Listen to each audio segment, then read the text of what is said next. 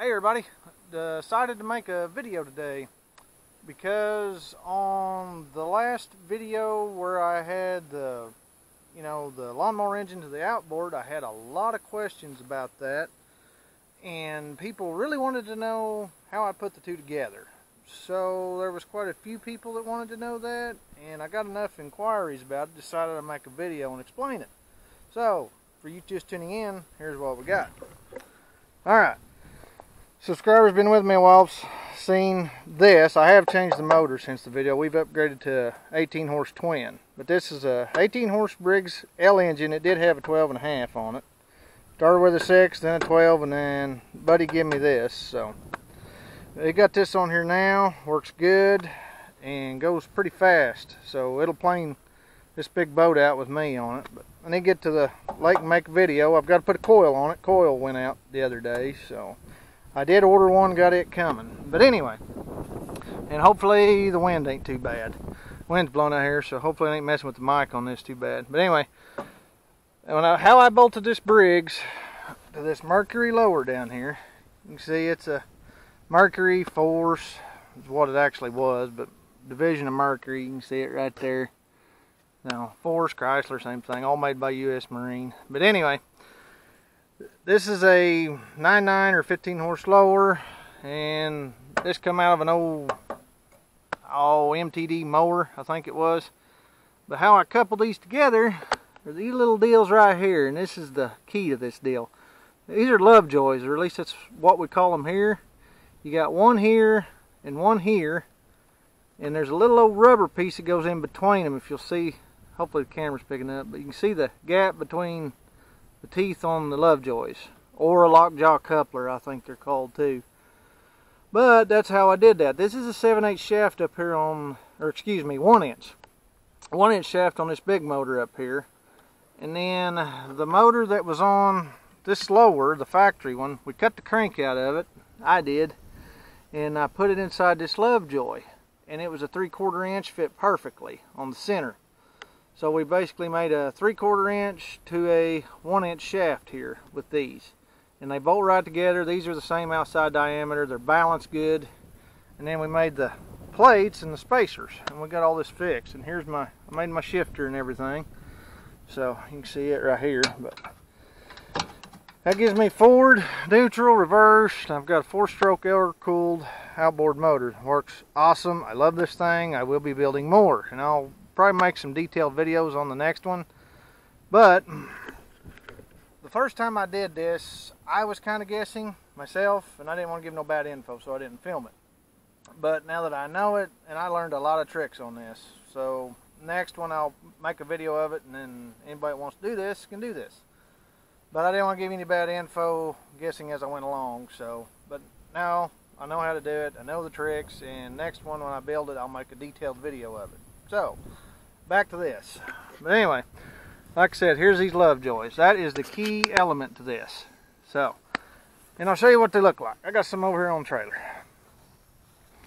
You can see, and you get these, you can order these offline. You can get these, uh, I got these from Tractor Supply. They're like, I think they was 850 I know they're under 10 bucks. I think they was 850 but G&G, this one's a three quarter inch.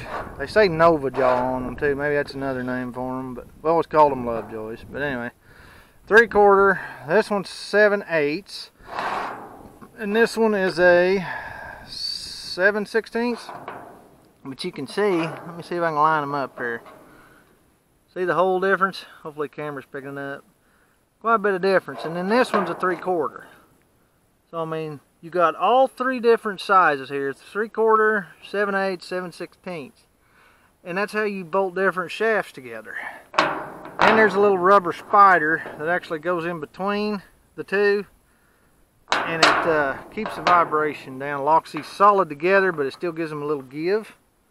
And if you'll notice, uh, same outside diameter.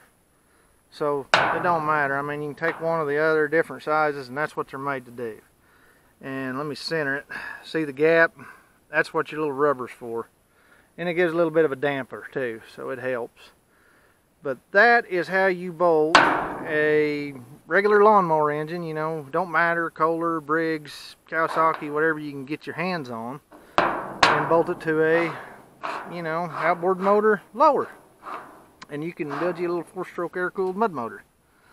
And these little pieces are the key. And then that little rubber that goes in between them. Like I said, you'll put it on the bottom one and flip it, line it up, and there you go. But that right there is the key element. Like I said, uh, they say Nova Jaw on the sticker, but I got these at Tractor Supply. Atwoods carries them. Maybe your local hardware does. I mean, just depends on the area you're at. But you can always get them offline too. Measure your shafts, and then there you go.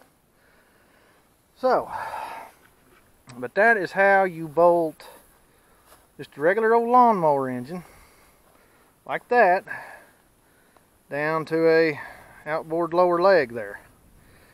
And I love this thing and I need to do a I'll make a video when I change the coil out and then we'll make another one and go take it out for a lake run. But I've had this one out a couple times till the coil quit me and I've got it on order it's coming and we'll get it in and I'll make a video with that.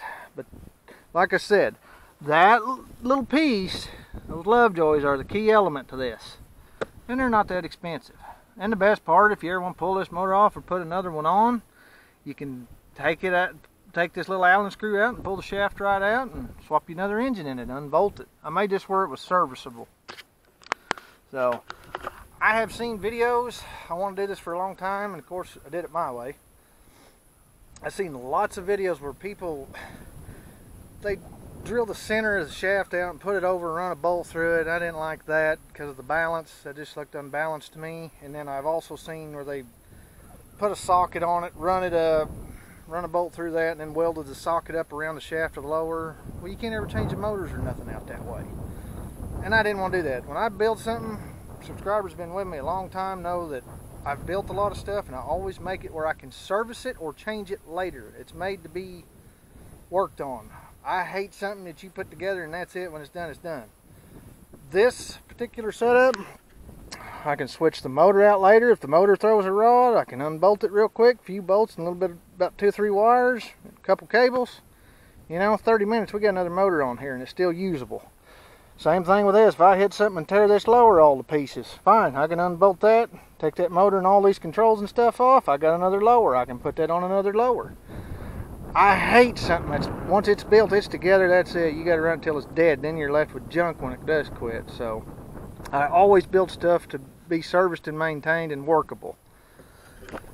Just lifetime of working on stuff, that's always been very important to me. So, anyways, like I said, the Lovejoys is how I've done this for the people that really wanted to know. So I hope that answers everybody's questions. And I've got another one of these I'm going to build, and I'll make a detailed video of that. And like I said, I hope the wind ain't messing with the camera too bad, but I guess that's it. So for all you want to know, there you go. So I guess that's it. So if you like this video, please give it a thumbs up. It really does help the channel. Subscribe if you haven't already. It's free. It don't cost nothing. If you do, click the bell. Then you'll get notified of every video like this and every other one I put out. And I guess that's it for this video. So please like and subscribe, and I'll catch you on the next video. Bye.